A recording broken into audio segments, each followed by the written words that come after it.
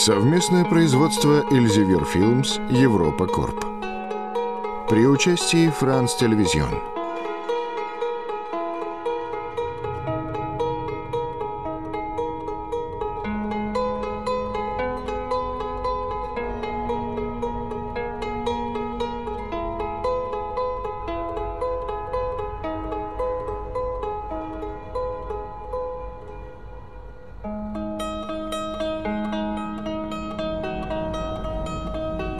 Фотографом я стал здесь, в Кении. Я был неподалеку от Великой Рифтовой долины, необъятного коридора, что разделяет напополам Восточную Африку. Там как раз обнаружили останки Люси, нашего древнейшего предка. Она жила там три миллиона лет назад.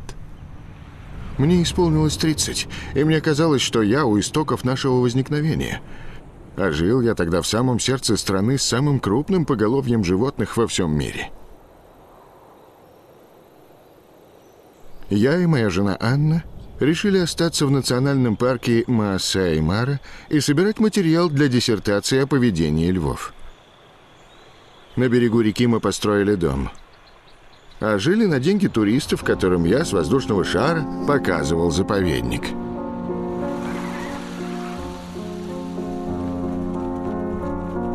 Три года мы провели рядом с Львиным Прайдом. Тогда меня интересовало только это. Но очень скоро я сменил блокнот и ручку на камеру. Фотография, в отличие от текста, сообщает информацию совсем иного рода. Так и вышло, что я хотел стать ученым, а стал фотографом.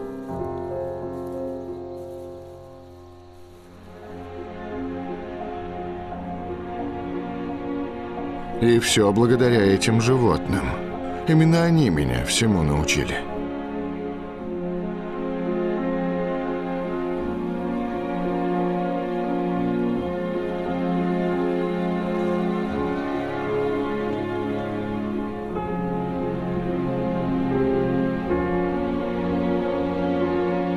Я приспособился снимать с воздушного шара. Неспешность полета дает время, чтобы выбрать подходящий объект и к нему приблизиться, а потом также неторопливо подняться и обозреть ландшафт.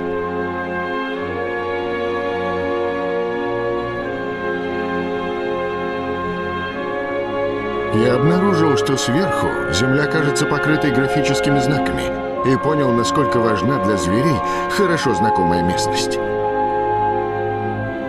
Когда через много лет я вернулся в Кению снимать фильм «Дом», то диких животных, живущих на воле, а не в заповедниках, уже почти не было. За истекшие 30 лет здесь осталось лишь 5% от прежнего числа жирафов. А когда мы стали снимать гипопотамов, их внесли в список животных, которым грозит вымирание.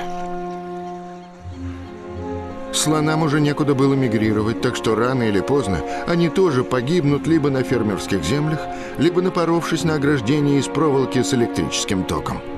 В сущности, все заповедники только обман.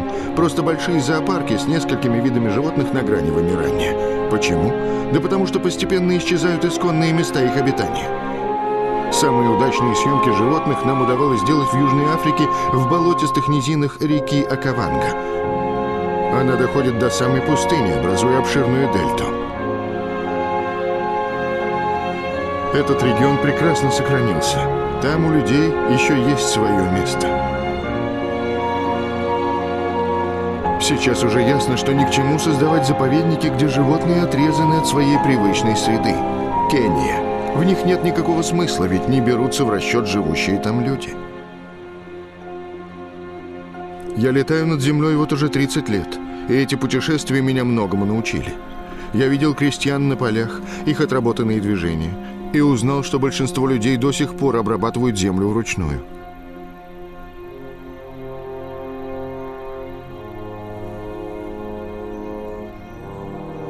Чайные плантации в Кении. Удивительная цветовая гамма из разных оттенков зеленого. При аэрофотосъемке кажется, что они нарисованы. Вот то, что я люблю и всегда буду искать.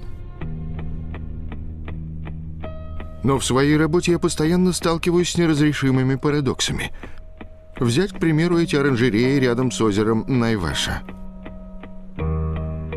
Они обеспечивают цветами всю Европу, до которой 6 тысяч километров.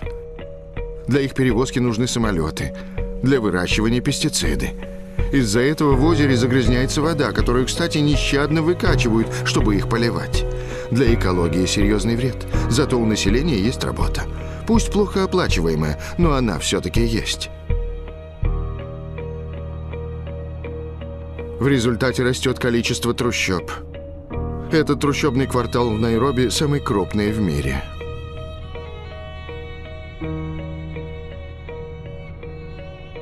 Покидая эту страну, я и не думал, что когда-нибудь буду снимать города и людей. Но в наше время интерес к природе подразумевает интерес к человеку и его воздействию на планету. Танзания. В Танзании у кенийской границы мне захотелось снять эти вулканы. Густой дым вулкана Лингай, воссоздавший картину рождения нашей Земли. Гору Килиманджаро я узнал не сразу, ибо живописное таяние ее якобы вечных снегов – явный знак изменения климата под влиянием человека. В Кении я видел то, что для меня крайне важно – утрату биологического разнообразия – глобализацию сельского хозяйства, стремительный рост населения и его обнищание, изменение климата и, прежде всего, красоту этого мира. Знаки этих перемен я видел во всех странах земного шара. Долгие годы я размышлял, и мне захотелось поделиться своими мыслями. Вот почему я вновь посетил эти страны и снял фильм «Дом». «Дом. История путешествия. Часть первая. Документальный фильм Жана Артюса Бертрана. Это мой первый фильм, и мне многое тогда хотелось передать. Я очень много снимал, но того, что мне хочется вам показать, еще больше. Исландия. Начнем с Исландии. Ее пейзажи меня покорили. Такое чувство, будто видишь красоту в ее первозданном виде. Это самое древнее место нашей планеты. Поверхность Земли здесь в ее изначальном неорганическом состоянии. Почва еще не сформировалась. В цветах и очертаниях скал, в разнообразии текстур и материалов я по-прежнему искал географические образы и схемы.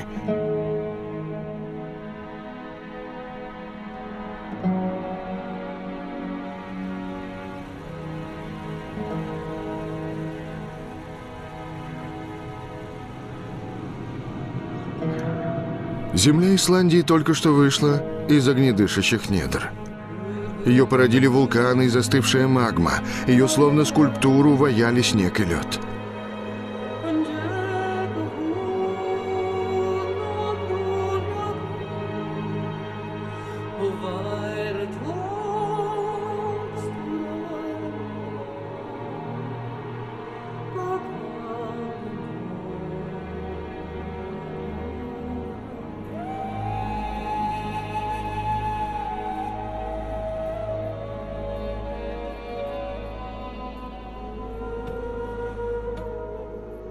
Здесь я запечатлел на пленку самые удачные образы рек, которые так напоминают вены и артерии нашего тела. Я хотел показать, что реки, растения, звери и птицы, как и мы, подчиняются одним и тем же простым принципам, в основе которых физические законы нашей Земли. Чтобы понять этот мир, необходимо вернуться к его истокам –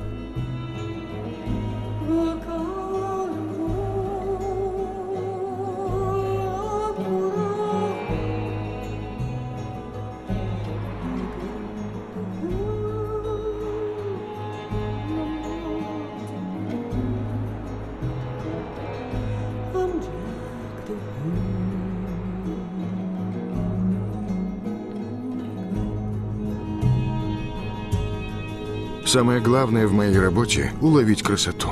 Она зовет, она побуждает к действию. Этот ледник запечатлелся в моей памяти словно живая картина. Когда я к нему приблизился, я не поверил глазам. Он весь был покрыт вулканическим пеплом, словно причудливой сыпью. Пепел рельефно оформил поверхность льда, четко разграничил контуры и тени, как будто я видел рисунок углем на белой бумаге.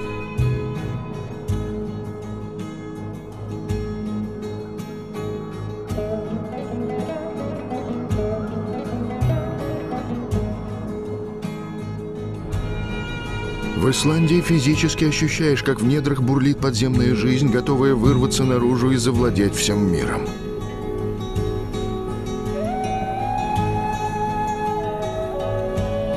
Здесь нам удалось запечатлеть дикую, неистовую красоту исландской природы, ресурсы которой население использует разумно и во благо. Вся страна получает тепло и электричество из мощного источника энергии, таящегося под землей.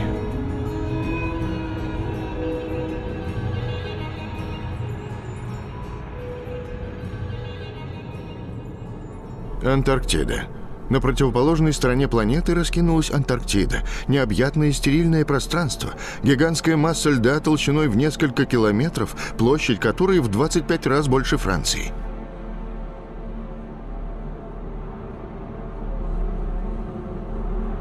Вместе со льдами Северного полюса Антарктида уравновешивает колебания земного климата. Это континент крайностей, людям тут осесть никогда не удавалось. Я считал отснятый здесь материал уникальным, и было очень жаль, что он не подходил для фильма «Дом».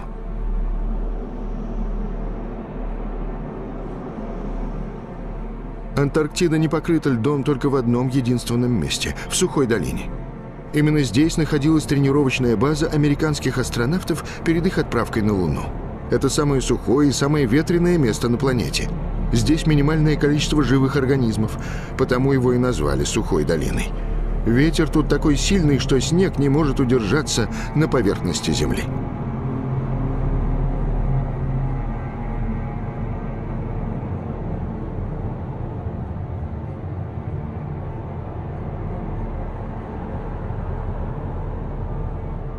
Долгое время считалось, что льдам Антарктиды таяние не грозит, но теперь все изменилось. Даже здесь заметны признаки климатических изменений – Ледяные поля, что окружают полюсы и защищают необъятные ледники, постепенно приходят в движение. И мы уже знаем, почему это все происходит. Китайская Народная Республика. В Китае, например, каждую неделю открывают две новых тепловых электростанции, работающих на угле. Китай на первом месте в мире по выделению в атмосферу газов, разрушающих озоновый слой. Но Китай – это оплот всей мировой торговли, и его стремительный рост поражает воображение – а его население, самое многочисленное в мире, запускает двигатель мирового производства. В Шанхай со всего мира привозят миллионы тонн сырья. Всего за несколько лет стало ясно, что три из пяти самых крупных портов мира в Китае.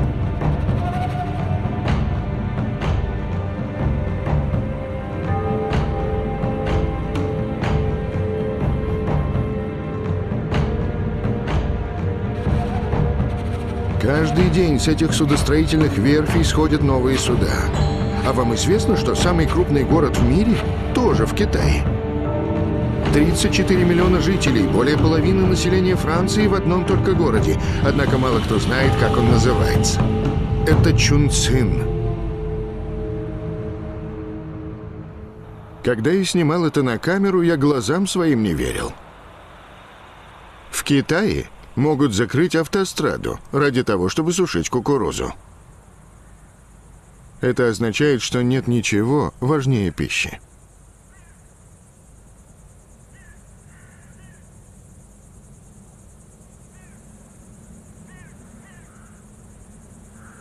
Мы мало что знаем о Китае.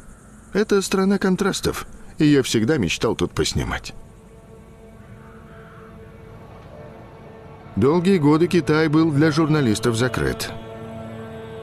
Для меня, фотографа, он тоже оставался запрещенной территорией. Аэрофотосъемка приравнивалась к шпионажу, и мне понадобилось 20 лет, чтобы получить на нее разрешение.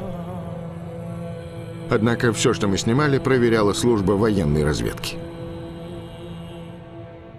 Редкая привилегия пролететь над Великой Китайской стеной. Это самое крупное сооружение в мире. Она тянется на 8800 километров. Для сравнения, 8800 километров – это расстояние от Парижа до Сан-Франциско. Китайцы строили и перестраивали эту стену в течение двух тысяч лет. Но, глядя на нее, я не мог не думать о тех 10 миллионах, что погибли на ее строительстве. 10 миллионов. Да, несомненно, это величайшее сооружение, но это еще и самое большое кладбище во всем мире.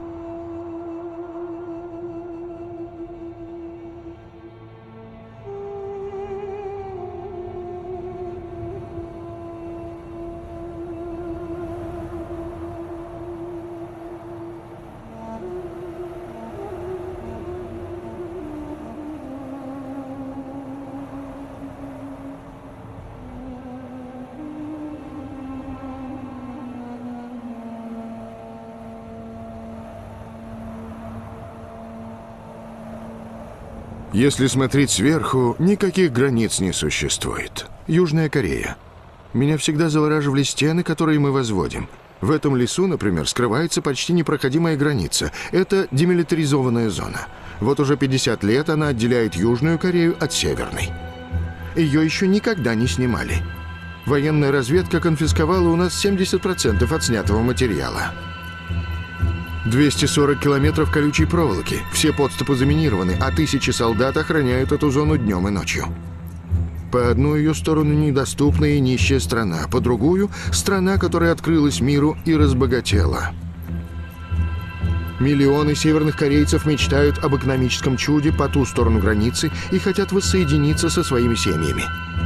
Я видел, как корабли производят сотнями. Это одна из самых крупных судостроительных верфей мира.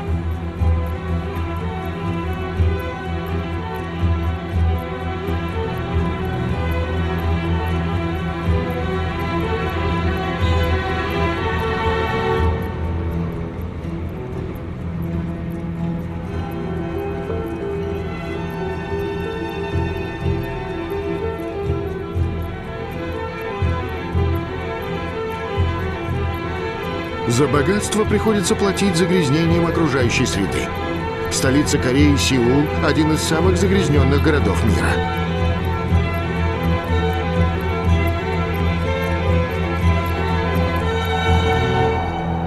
Непал.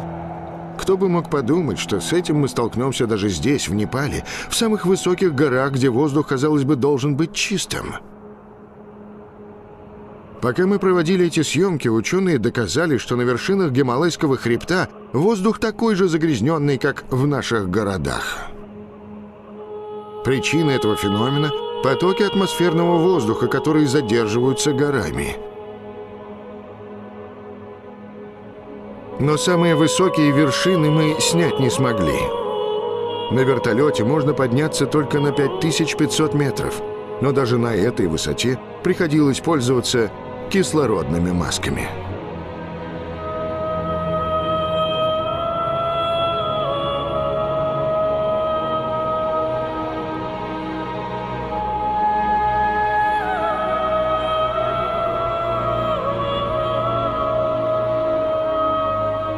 Я хочу поговорить об изменениях климата и о влиянии этого явления на запасы воды на планете.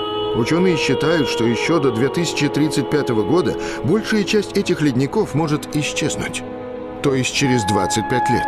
Это кажется невероятным, ибо они источник воды для всех крупных рек Азии, а от нее зависит жизнь почти двух биллионов людей, которым вода необходима для орошения полей.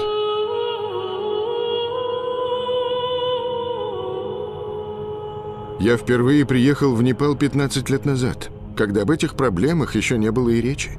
Помню, тогда я был очарован тем, как люди выровняли горные склоны для выращивания урожая. Каждый раз, когда я пролетаю над ними, я не могу не думать о том, что 98% крестьян до сих пор обрабатывают землю либо вручную, либо с помощью животных. Если эта цифра не отложится в вашем сознании, вы не сможете понять этот мир.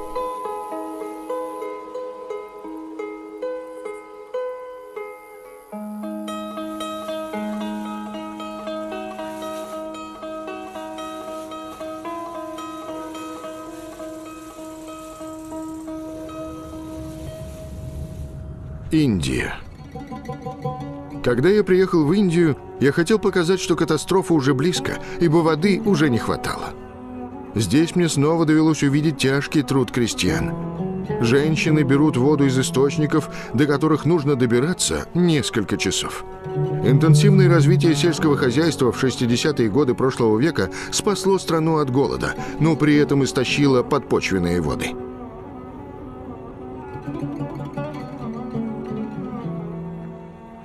Чтобы достать воду, каждый год приходилось копать все глубже и глубже.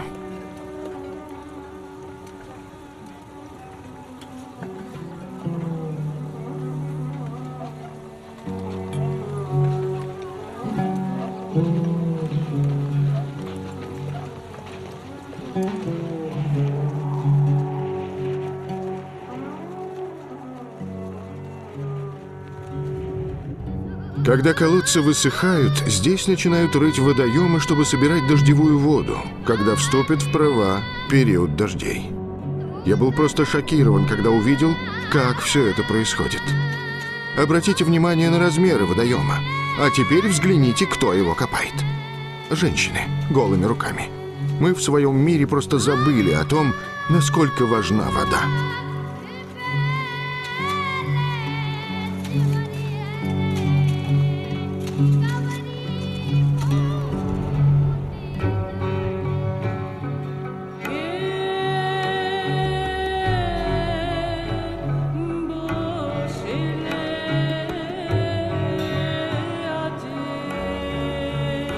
Помню цвета Индии.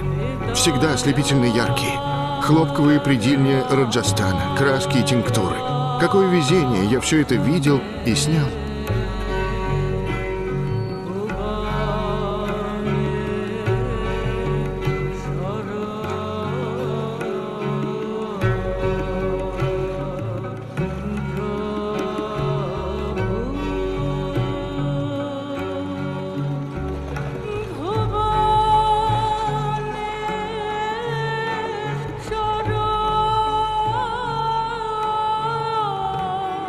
Но за этим традиционным фасадом страна, вовлеченная в серьезные преобразования. И мы плохо ее знаем. К 2012 году численность населения в Индии будет больше, чем в Китае.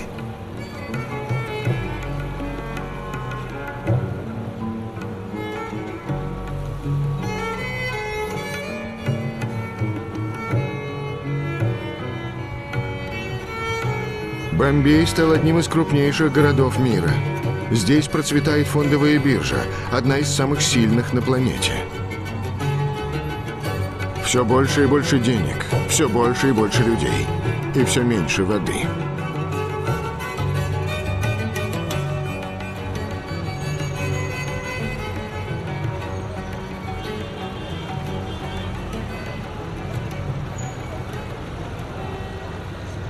Индонезия стране осталось мало деревьев. Я хочу заснять, как это происходит. Местные виды неумолимо вытесняются пальмовыми культурами, ведь они дают масло. В мире его потребляют больше всех прочих, и оно уже входит в состав многих продуктов –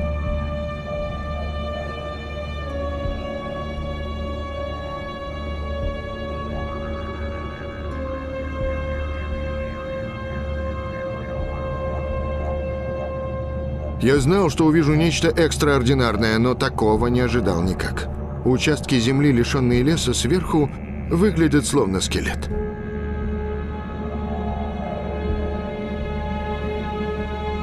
Я заговорил с одним рабочим с пальмовой фермы о том, что у них исчезают леса, гибнут орангутанги. А он мне сказал, вам легко обо всем рассуждать, сидя в вертолете, а я весь день на тракторе, мне семью надо кормить. Он меня пригласил с ним пообедать в его доме, что стоит прямо на реке. Вода в ней красно-коричневая от земли с ближайших холмов, ибо там уже нет леса, и она осыпается. В доме одна комната, там стоит телевизор с плоским экраном. Его жена кормит грудью младенца и смотрит американский сериал благодаря спутниковой антенне. Ее они купили в первую очередь. Я видел, что наш образ жизни служит для них образцом. Весь мир хочет жить, как я. Как мы. Что я мог ему на это ответить? Снова я столкнулся с парадоксом. С одной стороны равенство в потреблении, с другой сохранность природных ресурсов. Индонезийские пейзажи обязаны своей красотой этим вулканам. Такого их количества нет ни на одном архипелаге мира. А под ним пролегает один из самых активных разломов планеты. Он проходит через всю Азию. Помните последнее цунами? Земля здесь движется.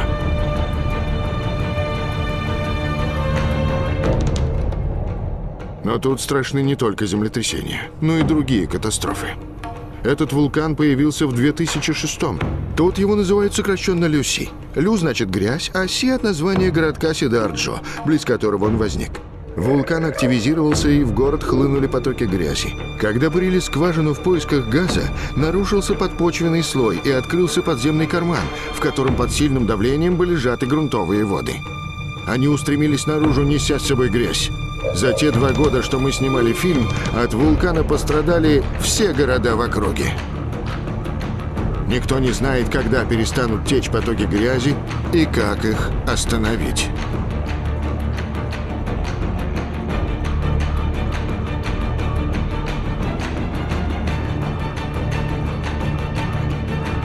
Таиланд. Здесь, в живописном заливе Пханг-Нга, неподалеку от Пхукета, я хотел снять сюжет об исчезновении мангровых деревьев, число которых на нашей планете за сто лет уменьшилось вдвое.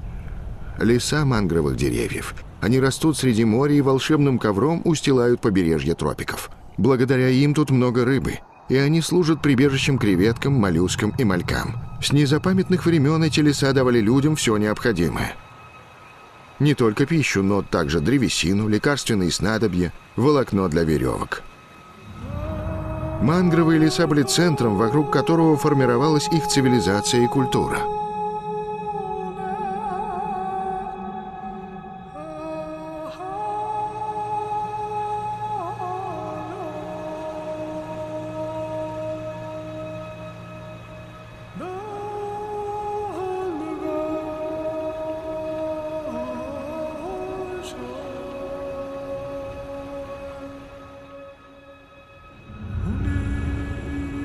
Течение последних 25 лет изобилие этих вод спровоцировало возникновение индустрии креветок. Их тут миллионы.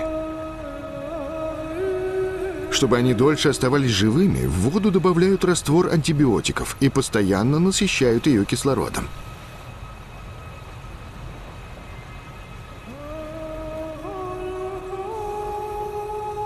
А процесс очистки еще больше способствует загрязнению окружающей среды. Креветочная индустрия – основной фактор, влияющий на исчезновение мангровых лесов. Готовые креветки теперь есть и на ближайших пляжах, и во всем мире. Оттуда в Таиланд стекаются туристы, и мы их тоже снимали.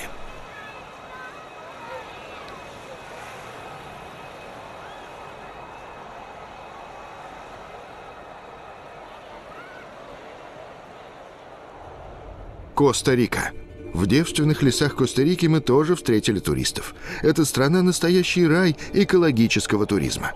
Это самый разумный вид туризма. Он привлекает иностранную валюту и сохраняет природные ресурсы. Это кажется невероятным, но 5% биологического разнообразия планеты хранят леса Коста-Рики.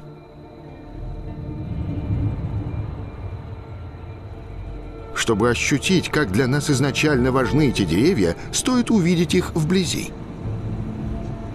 Как нам, жителям городов, осознать, что мы всецело зависим от лесов, удаленных от нас на тысячи километров? В стволах, ветвях и корнях деревья запасают углерод, которого там больше, чем в земной атмосфере. Они служат посредниками в круговороте воды и питательных веществ. Уничтожая деревья, мы этот кругооборот нарушаем.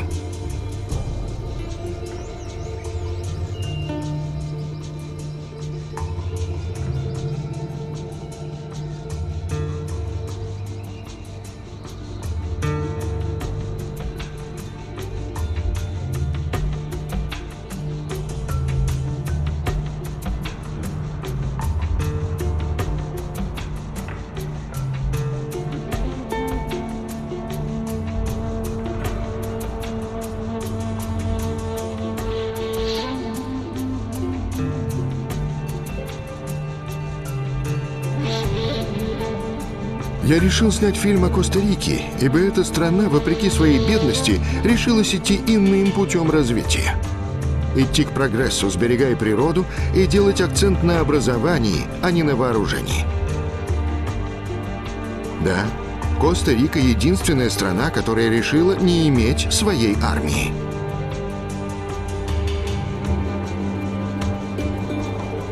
Но больше никто во всем мире не разделяет с ней ее утопические идеалы.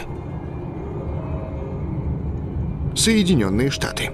Эти бомбардировщики я уже снимал в Таксоне в Аризоне. Они стояли там посреди пустыни, дожидаясь своего часа. Как визуальные объекты они занятны, хотя и безобразны.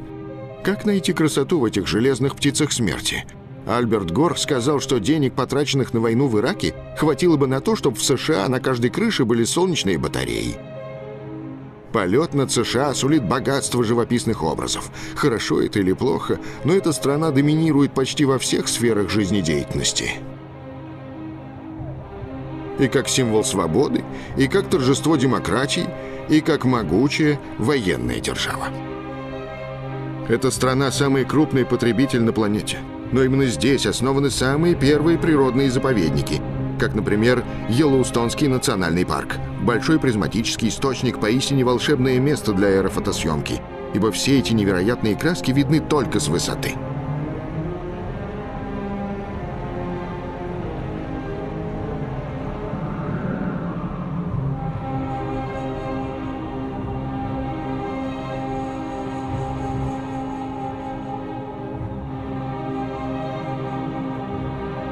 А в настоящий момент США стали крупнейшим производителем альтернативных источников энергии. Взять, к примеру, Техас и Калифорнию. Это важнейшие нефтяные штаты, но именно они стали ведущими в использовании энергии ветра. А сейчас стремительно переходят на энергию Солнца. Но все же эта страна держится на нефти и не может обойтись без нефти. А меня сейчас больше всего интересует энергия, ведь именно этой проблеме посвящен мой фильм «Дом». Разумеется, я понимаю, насколько нефть способствовала техническому прогрессу, которого еще не знала человеческая история. Но какой ценой? Эти скотоводческие фермы, кстати, снимать нам их не разрешили, существуют только благодаря нефти. Чтобы получить килограмм мяса, требуется 2 литра нефти. Если принять все это во внимание, становится ясно, что-то тут не так. А я уже знаю по опыту, если запрещают снимать, значит, есть какая-то проблема. Но невзирая на запрет, я делаю то, что должен. Свидетельствую то, что вижу. При современных методах животноводства выделяется больше отравляющих газов, чем во всех транспортных средствах в совокупности. Здесь, как и везде, 60% зерновых идет на прокорм животных. Именно поэтому все, кто борется за экологию, убеждают нас есть меньше мяса. Я расскажу вам кое-что о хлопке в контексте процесса глобализации. С одной стороны, речь идет о фермерах, с другой – об уничтожении природных ресурсов. Хлопок прежде всего нуждается в жаре и в воде. В США обширный водоносный горизонт Агалала обеспечивает водой почти треть хлопковых плантаций – но так как вода для полива нужна постоянно, уровень воды в ней уменьшается и может иссякнуть. Всюду одно и то же, что в США, что в Индии. США на первом месте в мире по экспорту хлопка. Но его производители, постоянно увеличивая посевную площадь, не получают при этом прибыли. И правительство США каждый год тратит миллиарды долларов на субсидии и дотации. Однако в США фермер за день зарабатывает столько, сколько африканский фермер за целый год. Буркина-Фасо. Здесь нет никакой системы ирригации, а климат для хлопка подходит идеально. Урожай собирают вручную. Вся семья принимает участие, ведь хлопок – главное богатство этой земли.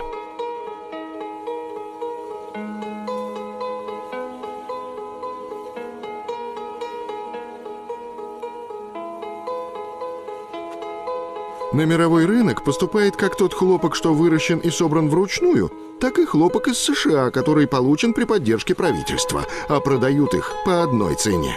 Хотя на производство африканского хлопка требуется в 2000 раз больше рабочего времени. И если рыночные цены падают, то хлопок так дешевеет, что африканским фермерам не на что кормить семью.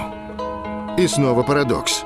По жестокой иронии, африканский хлопок пересек весь мир, чтобы вернуться сюда в виде поношенной одежды. Секонд-хенд – наш подарок Африке.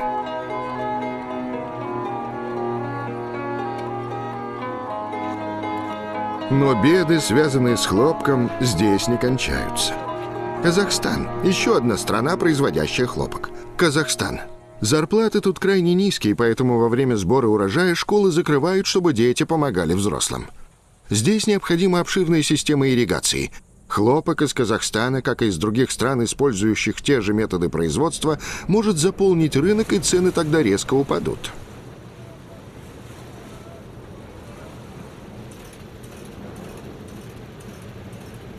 Поэтому в США и Европе фермеры получают субсидии, тогда как в бедных странах они нередко умирают от голода.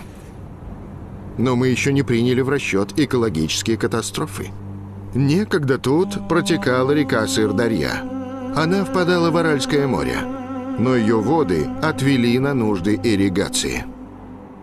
Река утратила половину площади водной поверхности, то есть 75% от общего объема воды. Трудно даже вообразить, что когда-то здесь был порт. Вода отступила на 80 километров. Мы теперь такие могущественные, что можем опорожнить море, словно это ванна. Мы нередко получаем предупреждение о нависшей катастрофе, но мы не в состоянии ее себе представить, когда она уже случилась. Так и было тут, на Аральском море.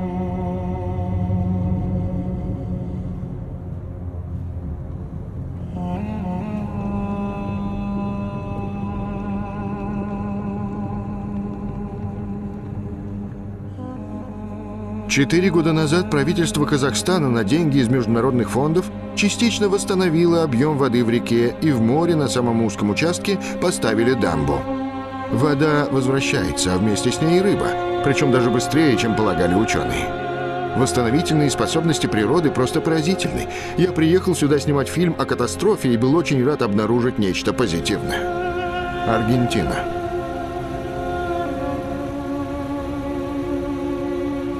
Вода. Эта тема настоятельно требовала живописных образов и картин. Раз так, что может быть лучше водопадов Игуасу на границе между Бразилией и Аргентиной? Мы снимали там часами, очарованные, словно под гипнозом.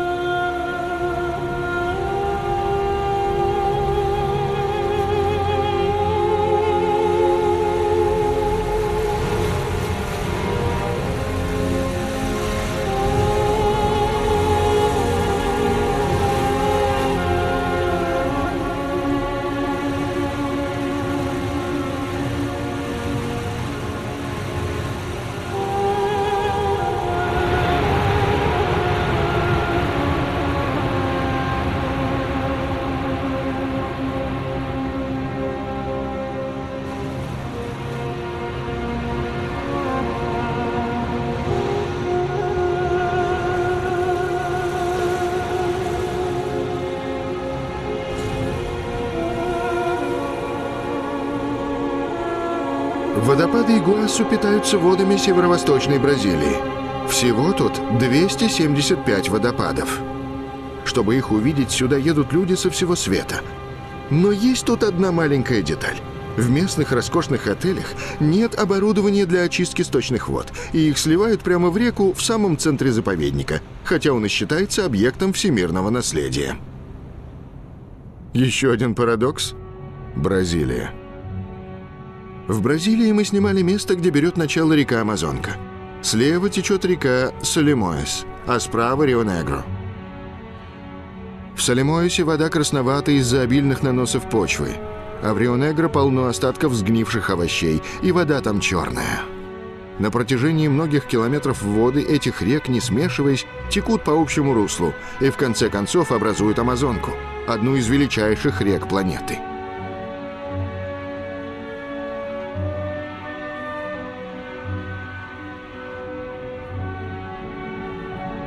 Горная гряда отделяет Амазонку от величавых болот Панта-Натала. При аэрофотосъемке мы всегда ищем такие места ради потрясающего сочетания земли, воды и неба. Мы заранее знаем, зрелище будет великолепным.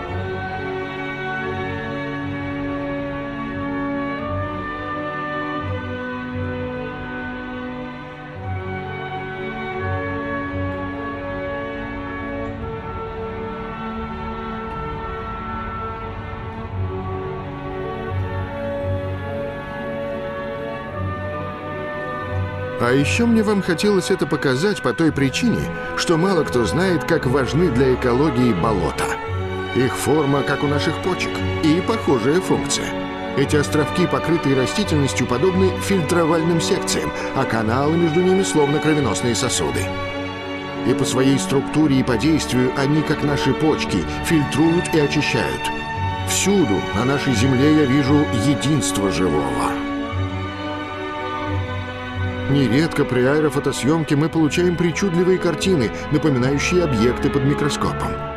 Одни и те же повторяющиеся мотивы и в бесконечно большом, и в бесконечно малом.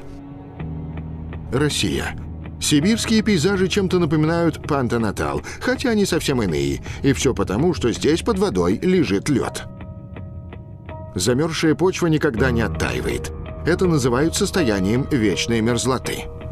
Но при ее оттаивании будет высвобождаться метан, который в 23 раза сильнее по действию, чем СО2. Ученые опасаются, что в ситуации глобального потепления это может произойти.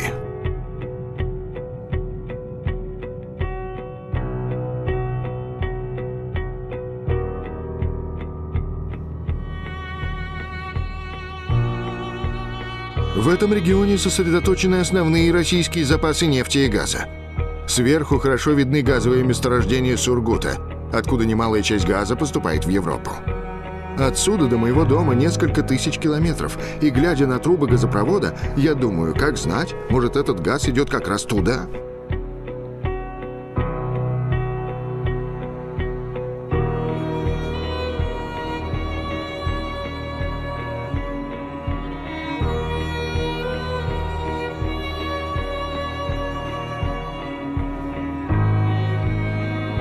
Болотная растительность постепенно формирует илистую поверхность. Она похожа на твердую почву, но вертолет тут не посадишь. Я никогда еще не видел такой необычной поверхности.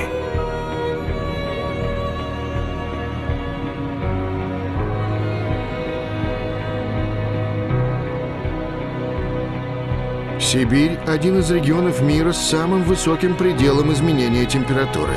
От плюс 40 градусов летом до минус 40 зимой. Такой низкой она и была, когда мы снимали на озере Байкал. Какое удивительное зрелище.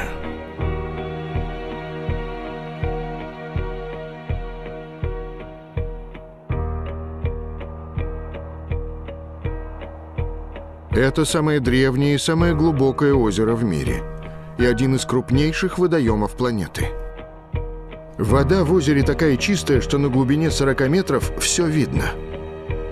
Зимой из-за скачков температуры лед ломается, трескается, снова замерзает, и получаются удивительные ледяные формы и узоры. Они накладываются друг на друга по всей поверхности озера. Я еще тут не летал. Это потрясающее зрелище. Словно подо мной черно-белая картина художника Поллока.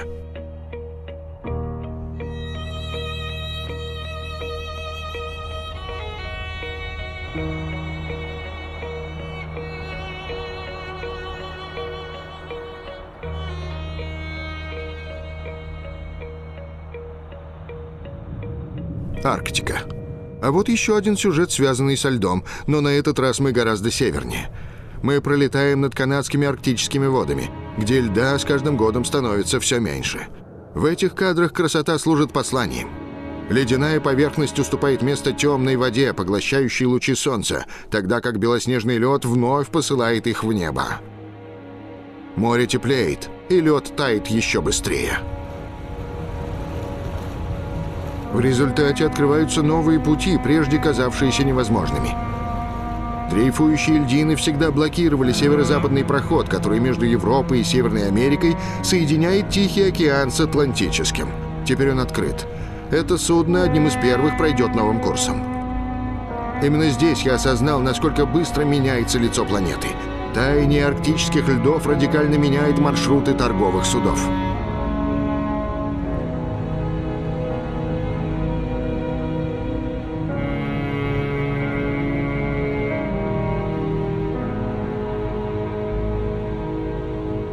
В США уже столкнулись с последствиями климатических изменений. Ледяные поля — это их охотничьи угодья и средства коммуникации —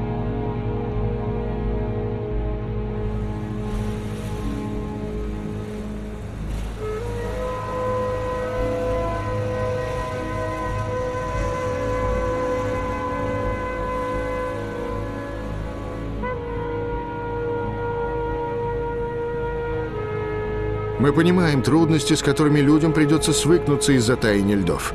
им придется осваивать новые способы передвижения. Например, такой вот симбиоз катера и скутера. Гренландия. 20 лет тому назад я уже снимал в Гренландии. Поразительно, но реки здесь стали полноводнее, и их гораздо больше. Мы живем в эпоху крупномасштабных перемен. Я это ощущаю.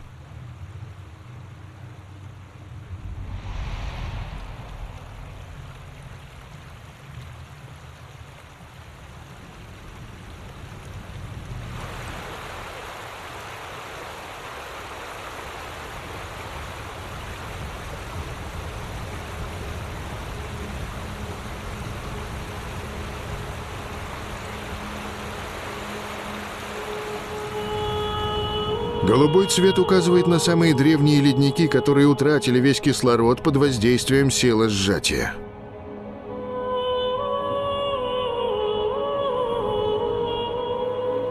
Айсберги, дрейфующие по водам Гренландии, столь многочисленны, что порой причиняют неудобства, блокируя подходы к портам.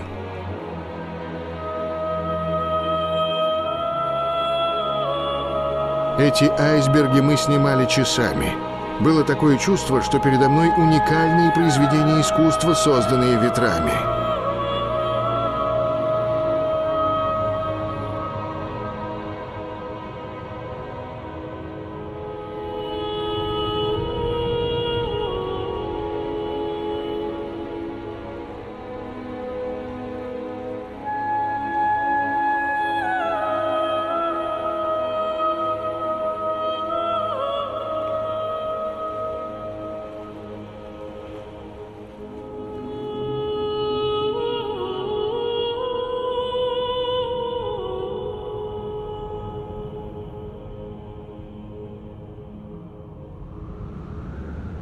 Канада.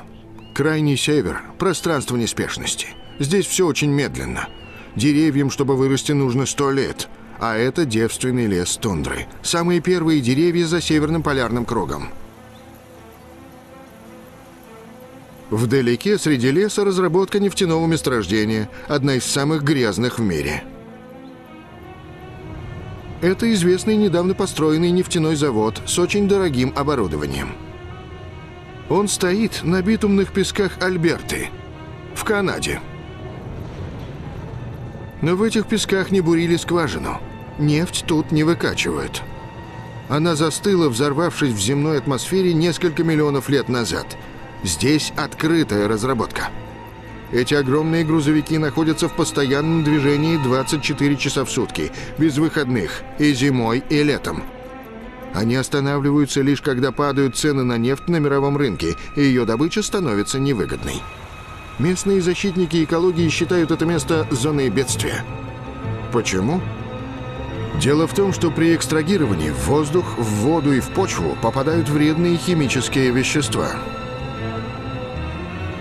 Эти крайне опасные для жизни токсины, сульфиды и сольвенты нефтяных остатков остаются в песке. Но при вечернем освещении они начинают светиться и по блеску напоминают золото. И снова я столкнулся с парадоксом. Такой благородный вид, а ведь это чистый яд.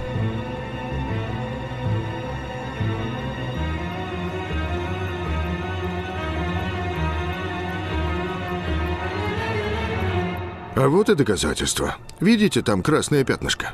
Это чучело, чтобы отпугивать птиц. Птица, которая сядет на эту землю, непременно умрет. Нигерия. Снова нефть. В Нигерии она под землей. Я был рад, когда увидел в лесу эти факелы горящей нефти.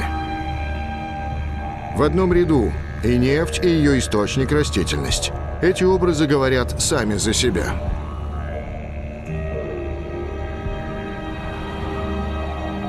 Здесь немало и морских месторождений нефти. По ее добыче Нигерия на первом месте в Африке. Там много ее месторождений, однако эта страна одна из самых бедных на планете. Я хотел показать, что нефть может стать настоящим проклятием. Как страна, столь богатая природными ресурсами, может опуститься до такой нищеты? Начинаешь снимать, имея какую-то цель. Ищешь, и вдруг прямо перед тобой возникает готовый образ, словно он тебя ждал. Он совершенно ясный, он говорит обо всем.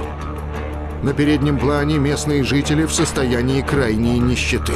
На заднем плане природные богатства страны. Их отсюда вывозят. А ее население, 150 миллионов, остается ни с чем. Неудивительно, что тут постоянно идет партизанская война. Богатство в этой стране не делится. Так возник Лагос, ее столица. Это один из самых стремительно растущих мегаполисов в мире. Да, растет он быстро, но за счет чего? По числу трущоб он тоже займет первое место. Страна богата нефтяными ресурсами, но в ее столице минимальное число учителей и полицейских на душу населения. Все это типичные признаки грядущей катастрофы.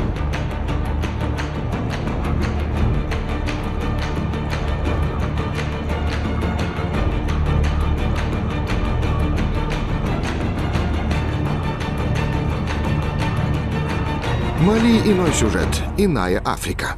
Мали. Я люблю это место. И люблю тут снимать из-за красоты местных людей и пейзажей. Мы пролетаем над плато Бандиагара, в земле Дагонов. Пусть она и похожа на райский сад, это далеко не так.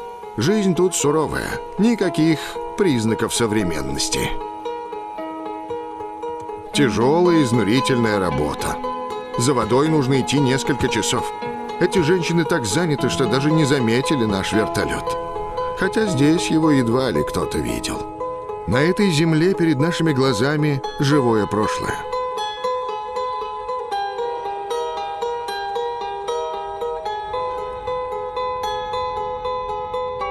Дальше к западу, в центре пустыни, река Нигер петляет и разветвляется.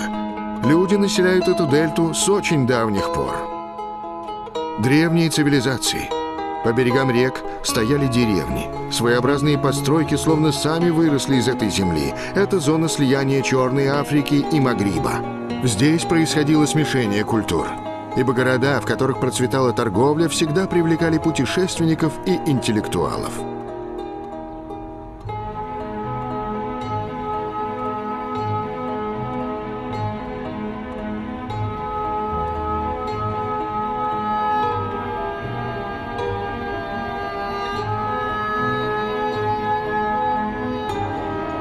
Мечеть Дженны ЮНЕСКО внесло в список объектов, имеющих статус всемирного наследия. Здесь некогда основывали университеты, древнейшие на планете. Я люблю здешних людей. С незапамятных времен здесь курсировали караваны верблюдов, плавали лодки.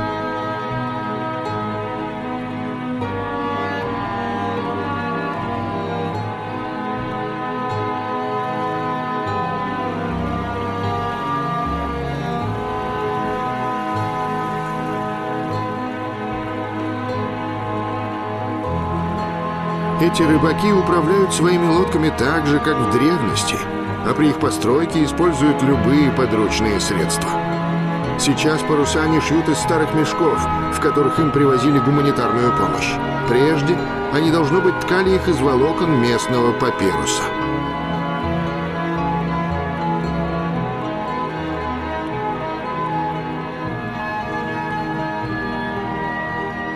Домашний скот всегда там, где хозяева. Здесь это основное богатство. То, что вы видите, я снимал еще два года назад. А теперь я снова вернулся на эту землю. То, что я тут увидел, внушает ужас. Здесь была страшная засуха. А потом прошли затяжные дожди. Погибла половина поголовья скота.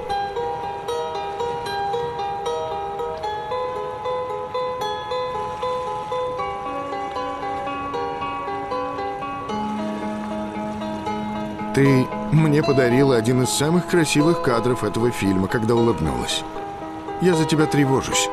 И я хочу тебе сказать, что я люблю тебя. Ведь ты еще не знаешь, что мы с тобой часть одной большой семьи.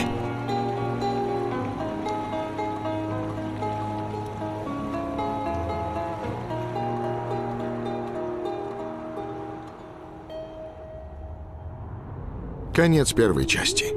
Продолжение следует.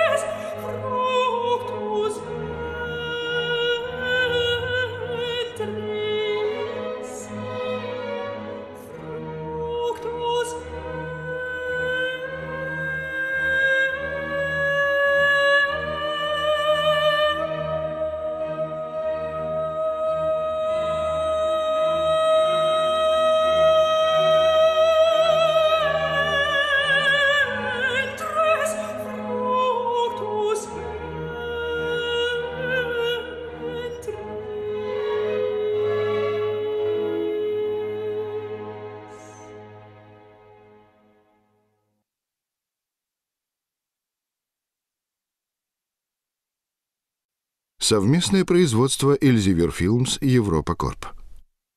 При участии Франс Телевизион. Париж. Париж – мой город. Здесь я родился и вырос. Это мой Париж. Мой дом. В кенийском заповеднике я стал фотографировать животных, а свои первые фото с воздуха я сделал в Париже. Это моя территория. Я знаю ее наизусть. Тем не менее, когда я поднялся над Парижем впервые, я для себя открыл его заново. Когда перемещаешься в воздухе, все обычное становится иным, новым. Многое из того, что незаметно на земле, становится заметным с неба. Пролетая над родным городом, я созерцал его прошлое. Я задумывался о тех, кто когда-то его основал. Они были простыми рыбаками. Их привлекала тут река. Ибо она давала им пищу. Окрестные болота и леса обеспечивали их строительным материалом и топливом. Так и в наши дни возникают на Земле города. Париж строился медленно. Нотр-Дам возводили без малого 170 лет. А сейчас, чтобы построить небоскреб, нужно всего лишь два года.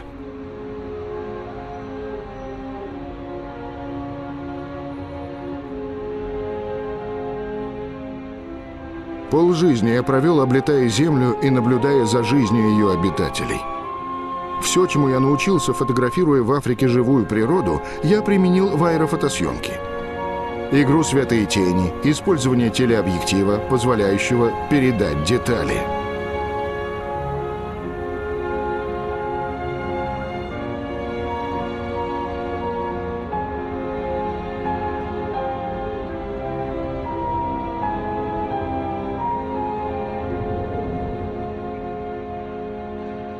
Сверху наши города кажутся мне составной частью природы. Они напоминают большие лесные муравейники. Снимая фильм «Дом», я возвращался в те страны, где успел побывать за 30 лет своей деятельности. И в каждой стране я видел тревожные знаки и свидетельства, требующие нашего внимания. Итак, продолжим наше путешествие.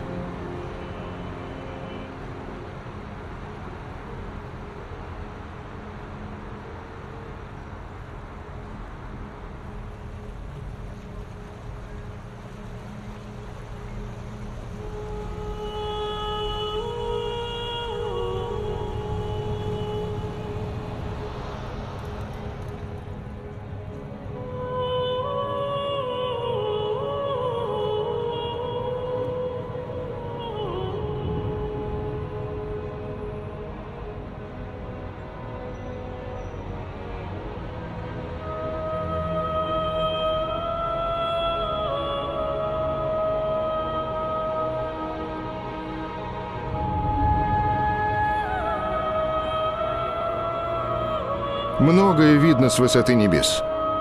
Довольно быстро начинаешь понимать, как люди живут, как они двигаются. Понимаешь их религию, их работу, модели поведения. Вот почему мне, как вероятно и каждому человеку, нравится на все смотреть сверху.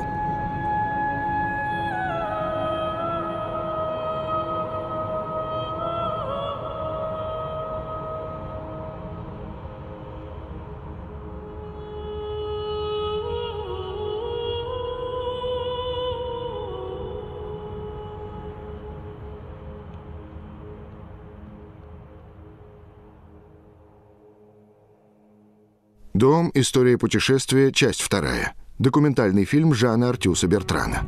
Свазиленд. Давайте продолжим наше путешествие по Африке. Вы, наверное, решили, что мы в Швейцарии. Но это Свазиленд. Эта маленькая страна, гористая и зеленая, расположена в южной части африканского континента. На склонах холмов и в долинах мы обнаружили эти поля – они словно яркие мазки, нанесенные искусной кистью прямо на земле. Сразу можно заметить, что тут работал не трактор. Трудился человек и его домашние животные. Очертания неровные, кое-где смазанные.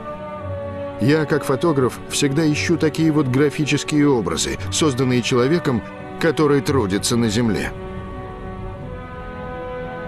Сразу видно, что повсюду занимаются сельским хозяйством, а земля часто кажется необъятным, обработанным полем.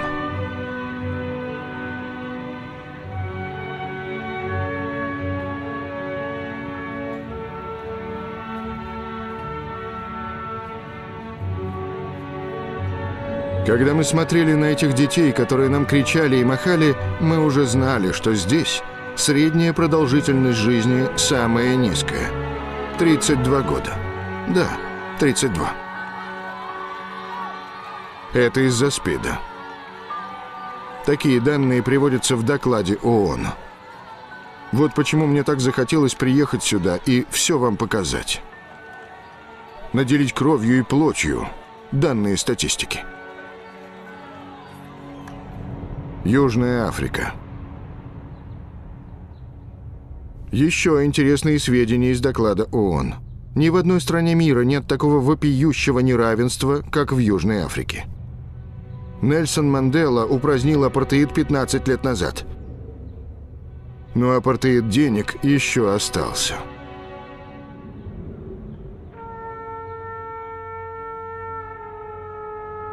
С одной стороны богатые кварталы, с другой трущобы, как и во многих местах нашего мира. С высоты сразу видна вся картина в целом.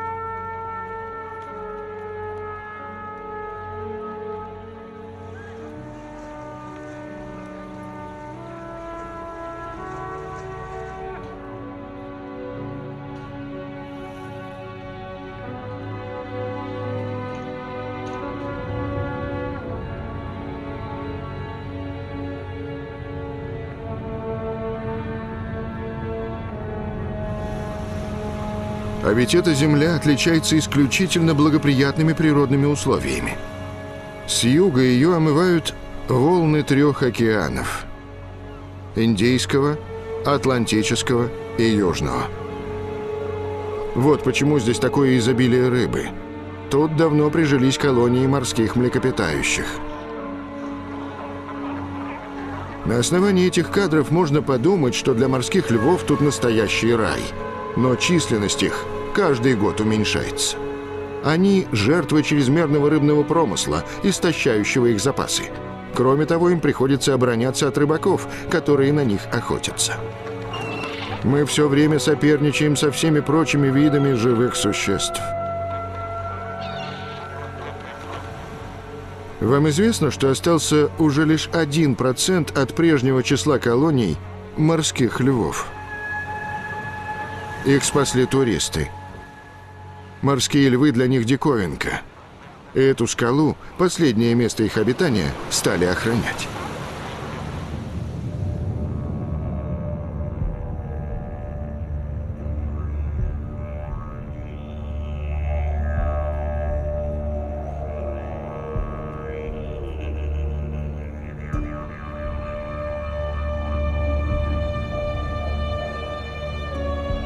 Там, за пеленой тумана, эвкалиптовые деревья.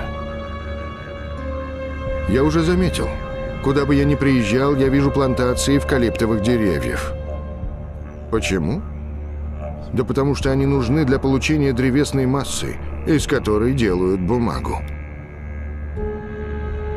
За последние 50 лет потребление бумаги выросло в 4 раза, а эвкалиптовое дерево растет 10 лет. Однако под ними ничего уже не вырастет. Флора тут уже не отличается биологическим разнообразием. Один лес не заменить другим.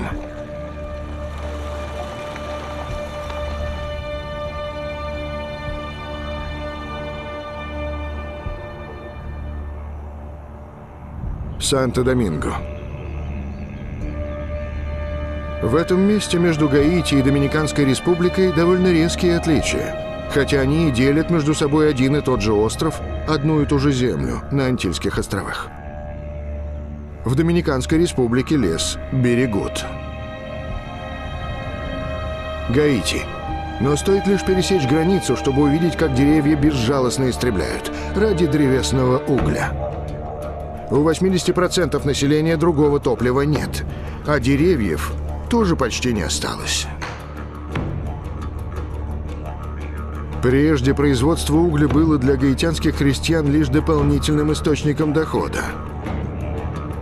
Но теперь из-за эрозии почвы на ней почти ничего не растет, и древесный уголь прочно занял в их жизни первое место.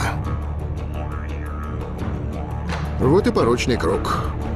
Чтобы прокормиться, крестьянам приходится уничтожать деревья, а почва из-за этого становится все менее и менее плодородной.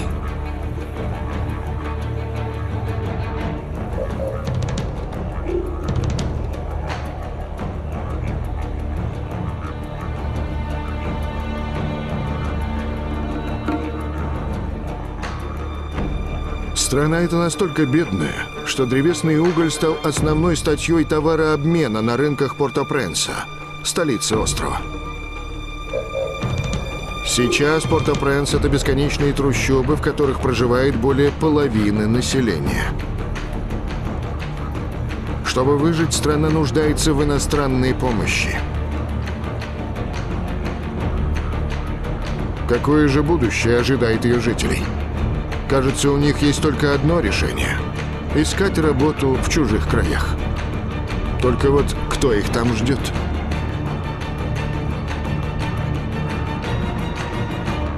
Мадагаскар. На этом острове у берегов Восточной Африки еще одна бедная страна, страдающая от последствий вырубки деревьев из-за давно вошедшей в обиход практики – засевать на выгоревших просеках – В отличие от Гаити, страна эта еще очень дружелюбная. И меня всегда трогает теплый прием и наивность местных жителей.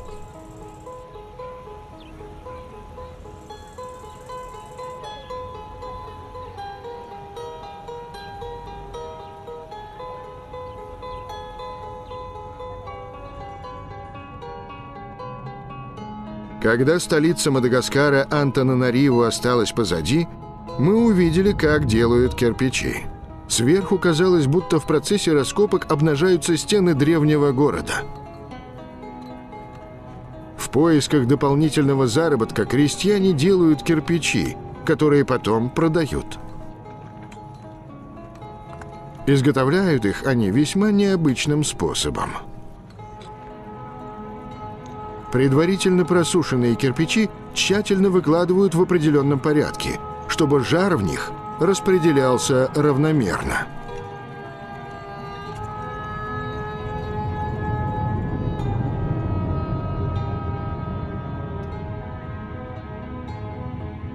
Оцинги. Это место я просто обожаю.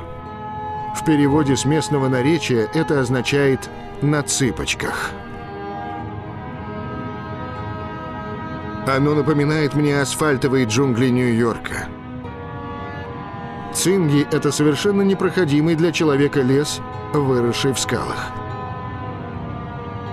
Деревья укореняются в каждой трещине скалы и устремляются вверх. Скальная порода довольно мягкая.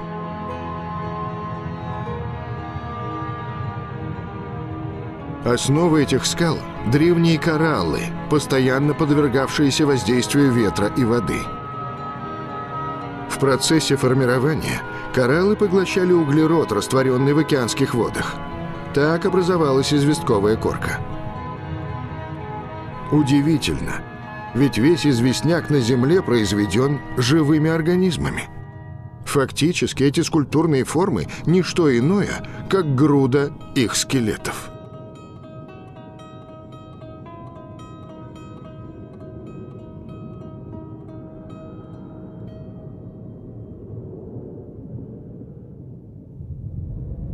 Чат. Продвигаясь дальше на север, мы попадаем в Чат. Вулканы Тибести мне напоминают, как и в Исландии, о том, какой суровой планетой была наша Земля до появления органических форм жизни.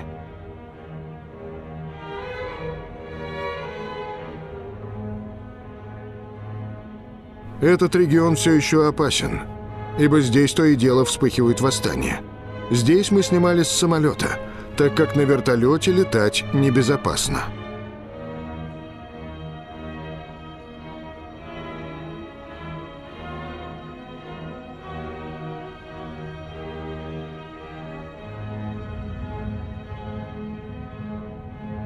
В этой стране, расположенной в самом сердце Африки, некогда было внутреннее море, озеро Чад, воды которого омывали границы четырех государств. Оно не очень глубокое, и уровень воды в нем претерпевал естественные изменения. Но в 60-е годы прошлого века оно потеряло 95% водной поверхности. Сейчас оно получает очень мало воды от питающих его рек – Отчасти это обусловлено изменениями климата, отчасти тем, что вода этих рек используется для орошения полей. Всюду одно и то же, как мы уже видели в Индии и в Казахстане.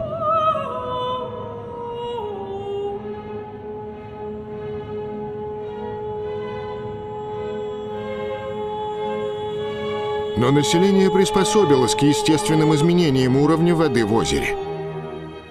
Люди веками вырабатывали образ жизни, всецело соответствовавший их природной среде.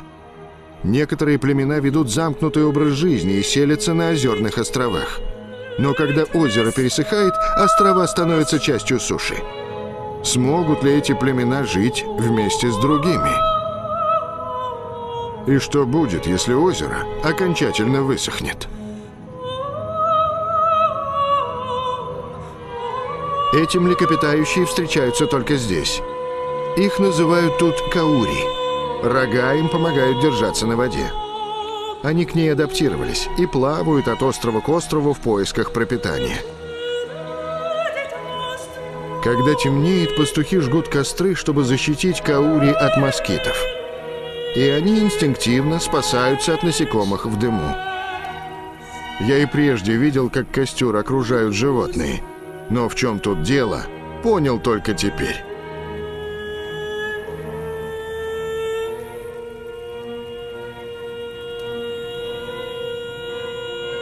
Здесь на наших глазах происходит экологическая катастрофа, как на Аральском море. Правда, не столь драматичная, но столь же разрушительная, хотя о ней мало кто знает. В фильме, затрагивающем судьбу нашего мира, я не мог не снять гигантские лагеря беженцев на северо-востоке Чада, близ границы с Суданом. Здесь, посреди пустыни, в десяти лагерях живут 350 тысяч человек. Большинство из них, хотя и не все, из Дарфура, что в Судане, и из Центральной Африканской Республики. Есть тут и местные жители. Они пришли сюда жить, поскольку тут их обеспечивают всем, чего нет в их деревнях – пищей, водой, лекарствами, школьным образованием. Но здесь нет условий для того, чтобы лагеря могли сами себя прокормить. Все приходится привозить. Им привозят даже воду. Местное население, как и в Гаити, полностью зависит от международной гуманитарной помощи. Порой я думаю, каково это – родиться и вырасти здесь. И полностью зависеть от помощи извне. Каким бы тогда я видел этот мир? Чему бы я тут научился? На какое будущее мог бы рассчитывать? Страшно даже подумать, что все эти люди никогда не покинут лагеря, которые со временем станут городами. Начиная с 2008 года, то есть когда мы стали снимать наш фильм, почти 20 миллионов жителей ушли со своих исконных мест обитания из-за изменений климата. Я полагаю, что это поворотный пункт всемирной истории – Проблемы, возникшие в связи с климатическими изменениями, стали куда важнее тех, что породила война. Мавритания. Мавритания еще одна страна пустыни. Помню, когда-то я мечтал заснять самолет, пролетающий над песками, чтобы камера сопровождала его тень, скользящую над дюнами. На рассвете дюны словно вылеплены лучами света. а их причудливый узор не подвластен времени.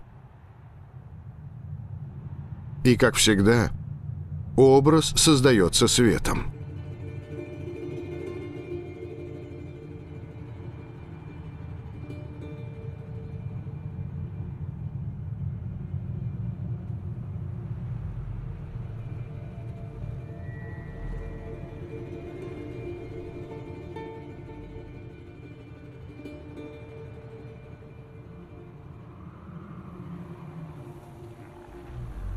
Картина пустыни не будет полной без дромедаров, одногорбых верблюдов. У мавританцев их пока еще много. Ни одно животное не приспособлено лучше дромедара к жизни в пустыне. Он может служить прекрасным примером в учебном пособии по эволюции. Его светлая шерсть отражает лучи солнца. Высокие копыта защищают ноги от раскаленного песка а худощавое тело предоставляет испепеляющему солнцу лишь минимум своей поверхности. На обратном пути в Нуакшот, столицу Мавритании, мы заметили между песчаными дюнами тонкую движущуюся цепочку, издали напоминавшую колонну муравьев. Это был караван из сотни тяжело навьюченных дромедаров. Что это был за груз? Этого я уже никогда не узнаю. Это было видение из иных времен. Оно словно вышло из сказок «Тысячи и одной ночи».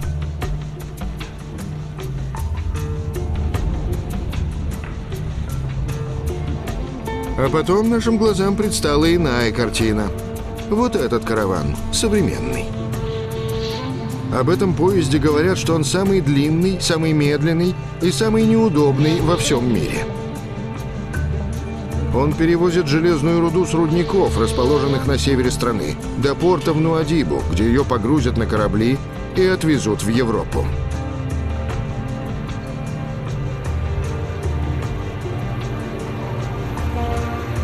Когда поезд останавливается либо замедляет ход, на крышу тотчас карабкаются непрошенные пассажиры.